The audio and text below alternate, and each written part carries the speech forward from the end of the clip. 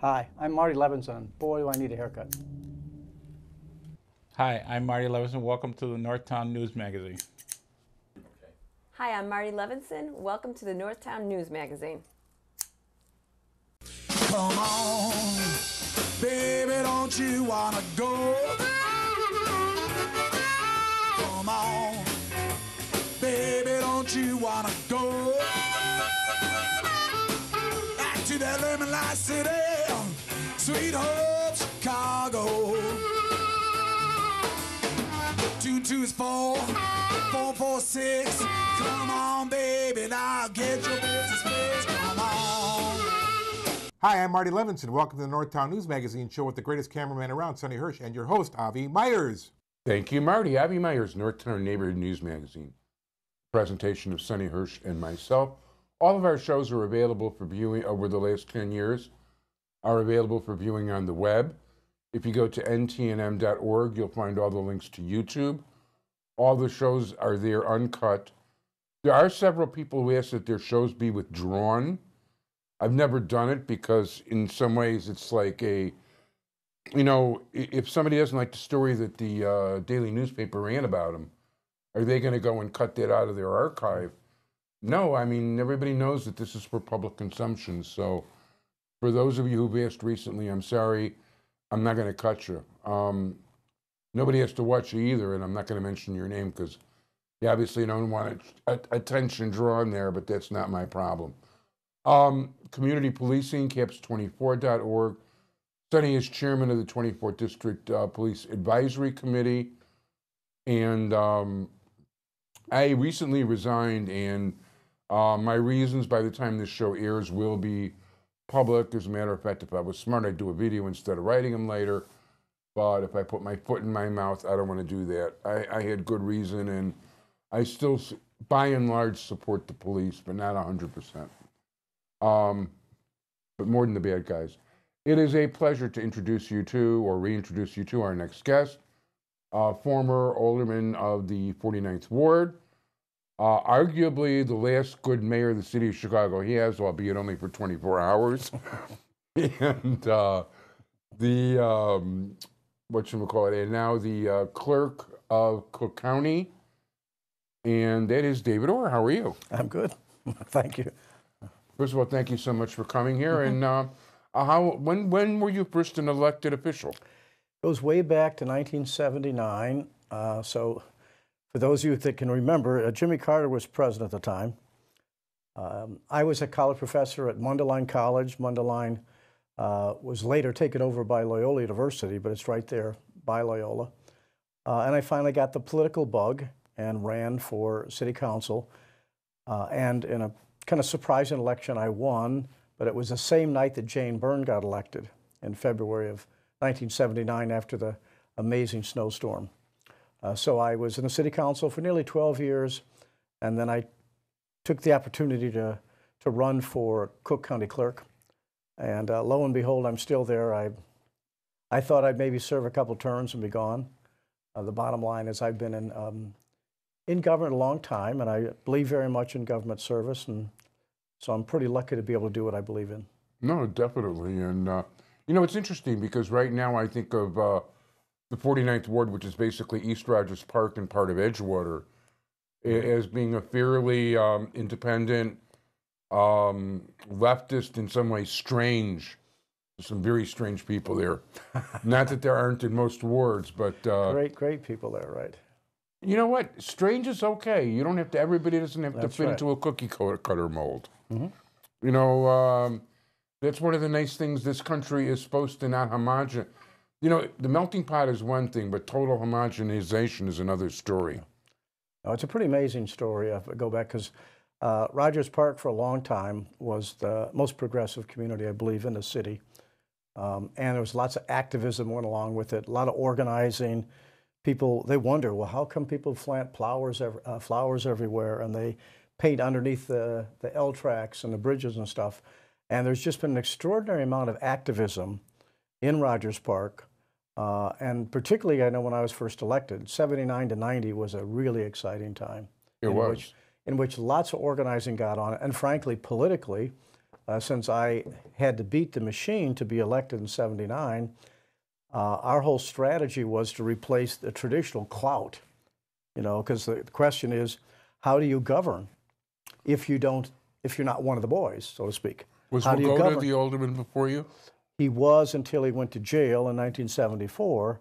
And then 1975, Esther Saperstein was brought in because it looked like we might have won in 75 with a young guy named Mike Kreloff. I remember that. And so Neil Hartigan, the ward committeeman, was very nervous they might lose the power structure they had. And so he pulled Esther Saperstein out of the state senate, Who was the committeeman at the time? Neil Hartigan. Oh, I Yeah, remember this was him Neil Hartigan's too. ward, and he, he promised if I won that he would quit.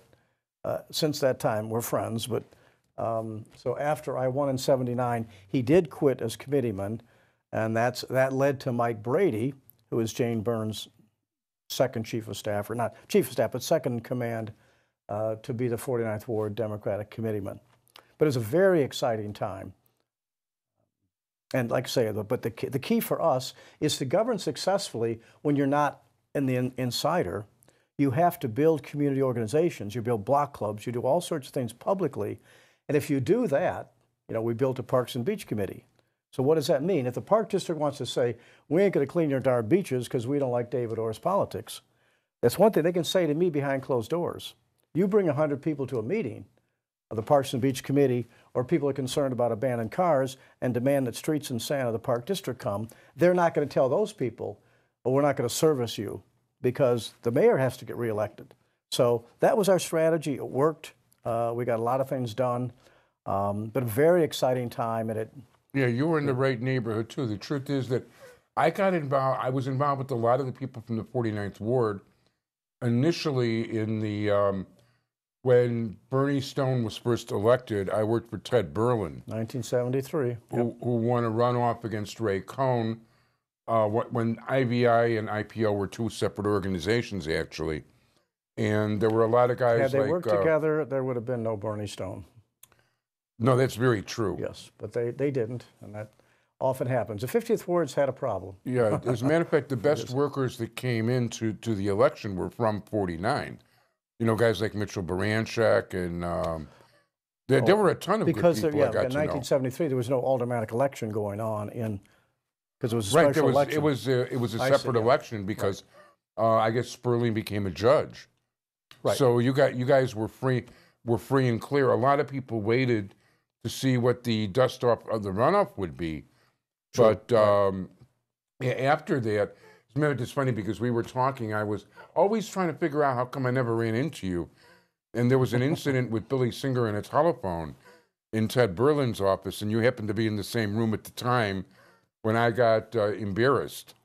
So um, I was doing, we were all doing these invitations. Billy Singer went to, you know, he's still alive. I don't have to embarrass him on the air. okay, he's still alive. He is. but uh, I never really considered him. He, he was, he might have been against the machine, but I never considered him a, the kind of independent I wanted to see. I like guys like Dick Simpson, Marty Oberman, or people like yourself, as a matter of fact, or Mike Kreloff. Mike Kreloff is a is a ward is a committeeman He's now. a committeeman up in Northfield. Yeah. Uh, when he moved up there quite a while ago, he's it, also Mike works for me. Um, uh, we've been very lucky in my job as county clerk to pass a lot of key legislation about voting rights. We passed early voting, teen judge, uh, the right for people to vote by mail. Uh, I could go on, and all those things. Uh, Mike Kreloff has been kind of our main guy. oh, so he's your um, I- He's a, he's our main guy on policy on on reforming elections, and he's the guy that works with uh, the legislative leaders. I'm trying to think. I'm trying to remember what the name for that is. But uh, does he have a title or? Well, I, public policy. I mean, he, he does. I don't use the word lobbyist. Others might, um, because they don't want us to. But the bottom line is, he is so well respected, uh, and he's such an expert. Yeah, I- I like the guy. I election law. remember him. So, so yeah, a lot of those things that have passed, and right now we're in the middle of a really important struggle to win automatic voter registration, which is really important. Um, that if, you, if there's so many things we can do nowadays because of modern technology. Let me let me ask. Well, first, uh, by the way, the last time I was actually involved in an election in East Rogers Park, which was one of the last times I was actually involved in an election, was uh, was Joe Lundy. Well, that was 1969. Wait, 69 was So that's- Lundy? That's, you, Didn't he win? oh, no, wait a second. 69 was Peter Tomei. I'm sorry, I take it back. Peter Tomei was a young guy. No, because this was after 73, Yeah, because otherwise I wouldn't have known these guys to join Joe them. Lundy, yes. Uh, but um, Joe Lundy was out by the time I came in. So you're talking about a long time ago. Yeah, we're talking probably 76 or Yes, 78. Yep. By the way, what my I was in charge of um, visibility and invisibility, which basically meant that being six foot four, which meant that being six foot four, I was the guy that stood on top of the vans and took down the machine signs and put up the Lundy signs at night. And then the garbage crews would come through the next day, take down all my signs, and then we'd go through the same thing the next night. Unfortunately, there's been a lot of dirty politics in, in Chicago's history. We, we're trying to turn the corner on that, but yes, I, Yeah, that's the way things used I, to I work. witnessed was- uh, a great, and that's partly why I want to become county clerk, because I witnessed so much uh, illegal voting and cheating and intimidation and bullying um, that it's nice to be able to turn some of that around. Yeah, I've seen I've seen it too, and very firsthand and um, very firsthand. But there's a lot, like I said, there's a lot of stuff going on right now that that we can do to make elections work better. let me let me okay. Let me ask you. It, it's not that in theory, it's not that hard to register to vote. No, You know, and, and it's hard. fact, It's harder to stay registered because people move so often in the big cities. because you know what, one of the things I'll say is if you don't follow um, David Orr on Twitter, you should. And um, I forget what exactly your, uh, e- e- even though I uh, tagged you yesterday on Twitter, and and you uh, retweeted me. um, I still don't remember offhand, but I ty- I remember I typed in David Orr and I got the uh, I got the thing. Um, you've been very very active about t- letting people know about elections, getting people registered, trying to involve people in the process. So you're saying that keeping people registered is a bigger problem than uh, It's a bigger problem now because, because remember we we have a lot of advances in registration. For example, uh, we we now have what you call online registration, which is really great, and that's great for the young people. Just you know, grab your phone or anything, and you can register online. But how do you prove you're you though through that? Uh, well, because uh, well, the people that can do that are are, um, are ones that have a driver's license in Illinois or a state ID, which is over ninety percent of the people. Okay, so the bottom line is we already have that information. Okay, so it's it's be different if you do not have a, a driver's license. If you're a Northwestern student from out of state, you have to register in a more traditional way. But the vast majority of people can register online, which is really smooth. It's cheaper. You get rid of all these levels of pa- paper. So we have that. But the key problem we have now is people move and they often don't update their registration, so they're not voting from the proper address. I, I, that, by the way, that's true because even though I don't work in elections anymore, I will privately urge my friends and other acquaintances to vote because I believe everybody should be voting. And if you move right now, if you move from Pratt Avenue in Chicago to, let's say, Bloomington, okay, we have, the government has the ability to do this. We have the technology, we have all your records. So it should be automatic. Why should you have to go fill out more paper, et cetera, et cetera? By the way, I'm, I'm right with you, and I hate one of the most wonderful things about computers is if you were to ever have seen my old office or any of my old offices, you would have seen piles and piles of papers that desperately needed filing and filing cabinets and, I'm, I'm like that too, and, unfortunately. and messes all over the place. Mm-hmm. And there is so little paper on the floor now. There are times a person could drown and get lost in my paper piles. And um, in any in any event, by the way, I was basically for many years the way I supported Jewish Chicago was I had a graphics business, which I still have. I just don't do very much of it. But I, I did about 40 ad books a year. I did over 100 um, different bulletins for uh, newsletters for organizations, things like that. Um, and I don't miss it, to tell you the truth, not a bit. But okay, if I want to, I, I just hit 65. I hate to admit that on the air, but I, I, it's the truth. If I want to get a CTA, senior PS, um, I gotta go make an appointment somewhere, and and my driver's license isn't good enough. You know, for all these different government activities, I called. I tried getting things fixed up with the city water because now I'm entitled to the senior citizens thing on the city water. I haven't been able to. to I no luck. I can't, I can't give you advice there, except sometimes uh, what makes it difficult in certain cases is when, when they're trying to prove eligibility. So, and when it's, when it's just age, it's usually easier. When it's eligibility, because uh, we do a lot of things in our society where seniors get certain free things, but a lot of seniors like me, they're not needy. And we, we should really be making sure seniors are needy before they get some of these freebies, because that's millions of dollars that ought to go to more legitimate causes. I'm not going to disagree with you, but uh, you know, like like like for instance, I don't have a problem. I, you know, I don't want to talk about income too much, but I don't have a lot. I don't have any problem qualifying for, um, you know, for a senior citizen freeze on my, uh, you know, on, on my real estate. Right. So I'm not getting rich doing this. Well, I don't think you're paying me anything, so. no, I'm not paying you anything. And by the way, it costs. It actually costs Sonny and I money to do this show. I wouldn't be surprised. So it's not that we couldn't get sponsors. I can get I can get sponsors. I just don't want to sell my soul for them. You know, I'd rather have the freedom of of telling everybody to flip off than uh, somebody trying to influence me. Well, And it's not like we'd make that much money if I took the sponsors either. But it's fun to tell people to flip off sometimes. I, I totally agree with that. I, kind of made a, a history of it myself, so. No, I think it's an admirable thing to do, absolutely. So, um, you know, we were talking about government efficiencies. And there's no question in my mind that so much money goes to waste. Um, I was, I, I uh, he had a hernia operation. I was in the hospital.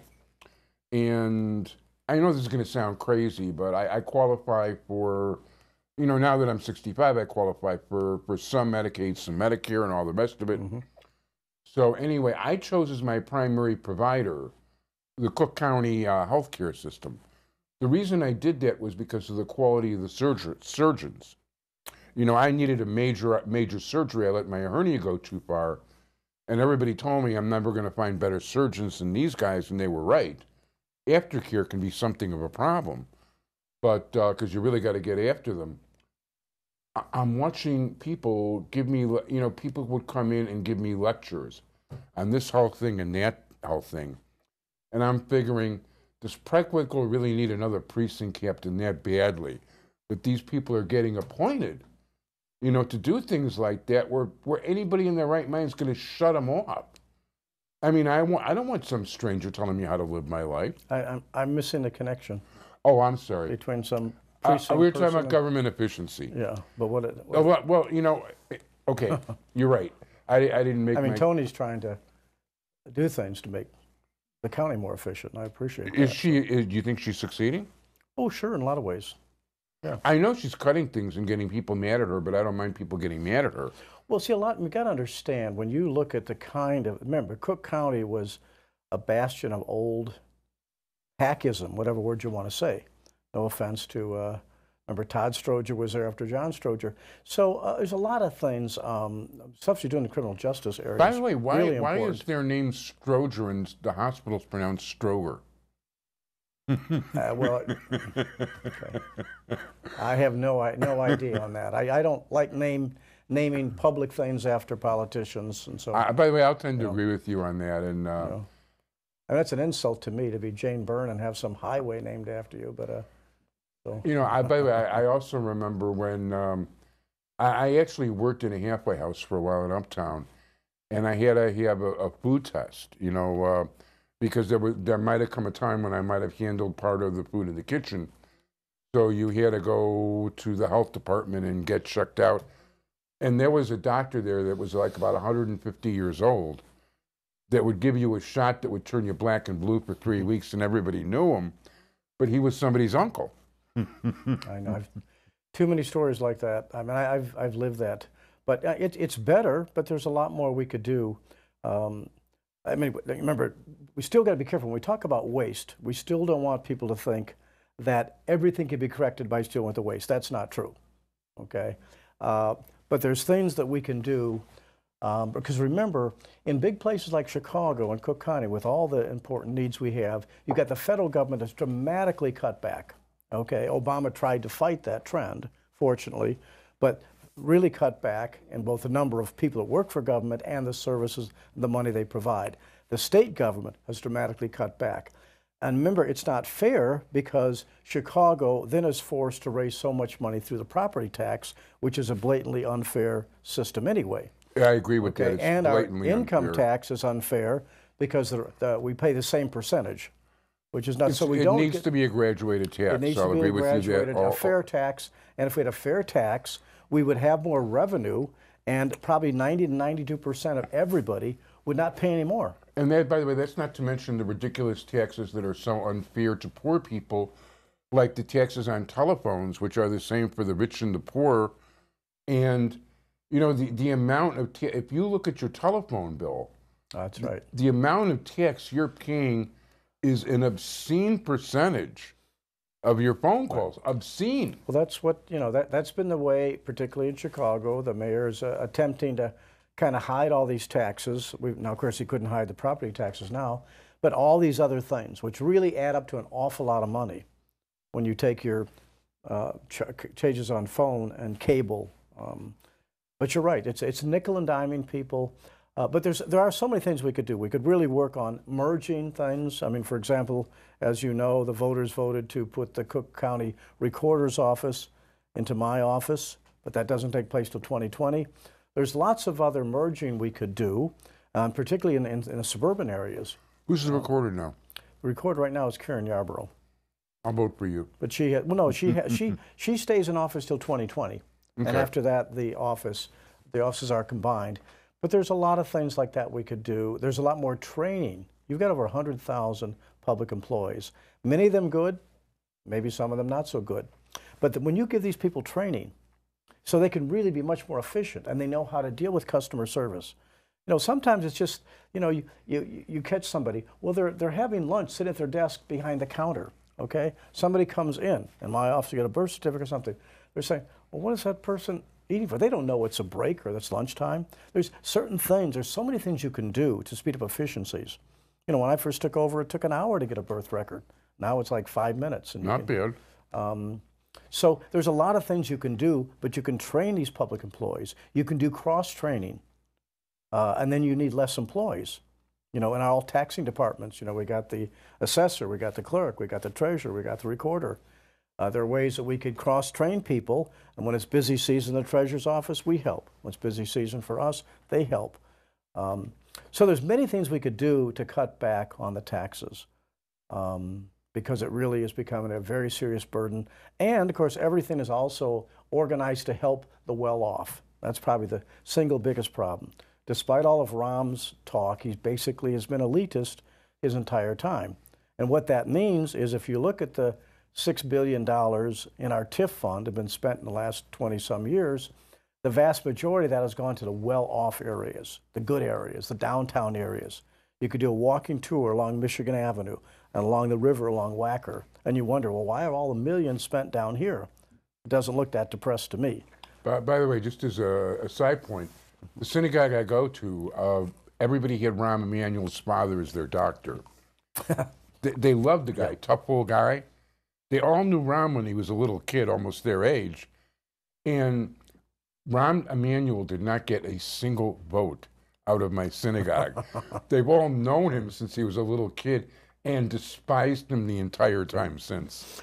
Well, I, yeah, I don't want to. No, I don't want to get personal. I just think that um, part of our problem is we still have so much elitism that, you know, we cut everywhere, and yet if you look at the what I, what I always call the big guys patronage, meaning the the, uh, the lawyers and the accountants and all the big firms and so forth, there's where we should be cutting more. Okay, rather than just uh, how many thousands and thousands of desperate seniors that work for the city of Chicago for 30 some years. They may now now they're losing other health benefits. And if you want to go in Cobra Yeah, right now in the county of Cook, costs you 920 $938 for a single person. You know, Okay, so I mean, there's there's ways that we could do things more fairly, uh, but it takes a city council, uh, unlike what we have, because our city council is pretty much still a rubber duck. Uh, Well, the even though we got finest some money can really buy. good people. Yes, I mean, I, I mean, I think we could dramatically reduce the number of uh, city council and encourage them to be more policy oriented. Uh, but I know we're about running out of time, so No, actually, I was looking for my clapper. your clapper. Yeah, oh, that, it was there for a purpose, Sonny. I, I was going to mention the Silversteins like humming and go like that. Oh, I'm not a fan of the Silversteins to put on my alley. Um, you know, we're, we're in terms of um, I, I uh, oh, you were talking about in terms of efficiency. You know what? Uh, you you keep talking. I'm losing my are train. we are we still on? I thought. you got four minutes. Oh, 28 minutes. I thought we were 24. Okay, fine. No, no, we're fine. Um, well, the, the key to me about efficiency is that, um, you know, the ideal kind of government, and I'm, I'm, I'll agree with this, is, is where you actually have pretty strong government, you have strong business, and you have strong labor. And then there's countervailing forces that kind of control each thing. Uh, what's happened too often in Chicago is that labor is weakened, uh, and if government is kind of weak, and takes all their advice basically from the influential business people. They want certain things. You know, they're against raising the minimum wage. Uh, we've got thousands and thousands of people who have no sick leave, and they work in the hospitals and they work in other places. Now that's when you think of that's absurd. That means those people have to come to work when they're sick Right. because they have no sick And in a hospital. Yeah. And we have things like wage theft. So the point is, now that we're beginning to raise the minimum wage, for the first time, if you notice nationally, the numbers of what Americans are making started to go up. Okay, in other words, it's uh, people don't realize that, but w- the folks who are really needy, which is the vast majority of people, Yeah. and they go from eight seventy five an hour, all of a sudden they're making nine fifty an hour. Okay, and That's some a significant difference. yeah, and then plenty of there's you know McDonald's. There's certain McDonald's owners that pay people more because they understand they will have uh, better people that will stay with them, not leave all the time. And so you've got a lot of variances among the businesses. But when when average people get a better deal, which is pretty much against what the corporate world wants today, not all, but some, then people can spend the money and helps the economy. But we've been going the other way, with the exception of some of these changes in the minimum wage. Yeah, the corporation, unfortunately, I think a Supreme Court ruling a number of years ago, and not enough people refer to it, saying that a corporation can be sued for not maximizing profits.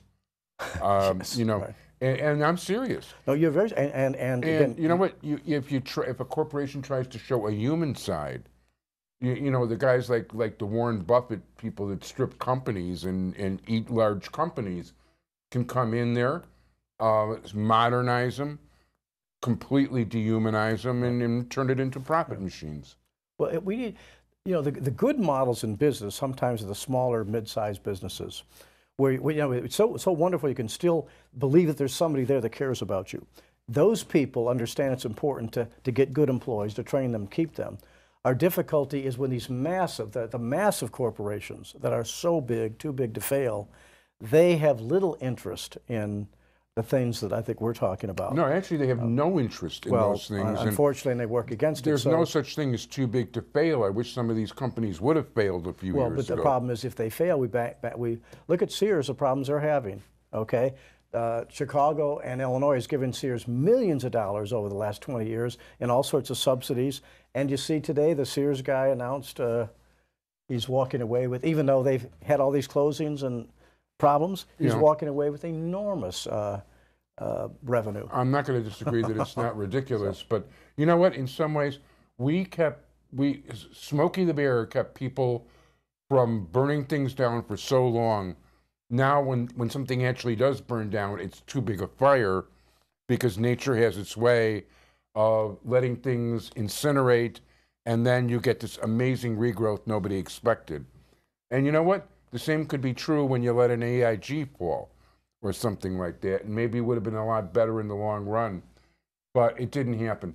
In, any, in any event, we're running out of time. This, I'm enjoying our conversations, and you'll have to come back more often and, and um, you know, like uh, sack the establishment, so to speak.